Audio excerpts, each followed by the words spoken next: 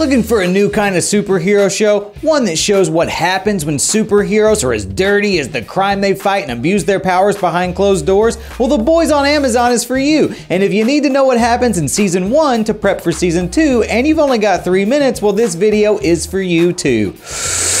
Before we talk about the boys, let's talk about the seven. They're kind of like the Justice League, except when no one's looking, they're real bunch of assholes. Pardon my French, those There's Homelander, The Deep, Queen Maeve, Black Noir, A-Train, and Translucent. The seven are owned by the corrupt Vought International and managed mostly by VP Madeline Stillwell, played by evil Elizabeth Shue, which still feels wrong. In the first episode, the seven are joined by their newest recruit, Starlight, who's actually a nice person and, like everyone else, believes the seven are good guys. But they're not good guys. Hughie Campbell learns this the hard way when A-Train plows through his girlfriend Robin, like, you guessed it, A-Train.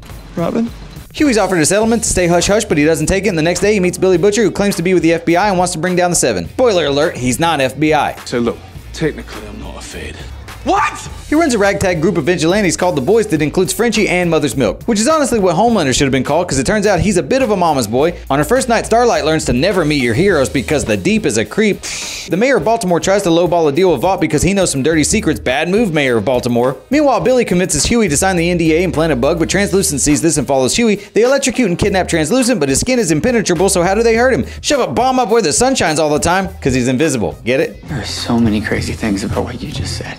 Never mind. Pop goes translucent. Speaking of Pop, meet Popclaw, A-Train's D-list superhero girlfriend. The boys spy on her and find out about a drug called Compound V, which is basically like steroids for supes. About the same time, Hughie has met Starlight and she's relieved to be hanging out with a normal guy, but has no idea that Hughie's behind the disappearance of Translucent. The boys continue to spy on Popclaw and watch her kill her landlord and A-Train kill her. What a mess. Literally. Can't show you how nasty this is.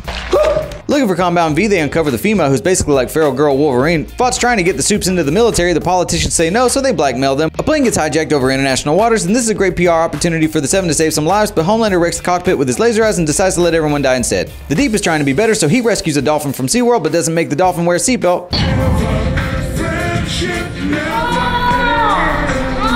So he gets demoted from the Seven and shaves his head like Britney. Hughie learns from a stretchy hypocrite preacher that Compound V is being given to babies and this is how supes are created. Thanks to Haley Joel Osment, a former child star who can read minds, the boys learn about Kimiko's backstory and the Vought plans to create superpowered terrorists so the supes have someone to fight. Holy sh!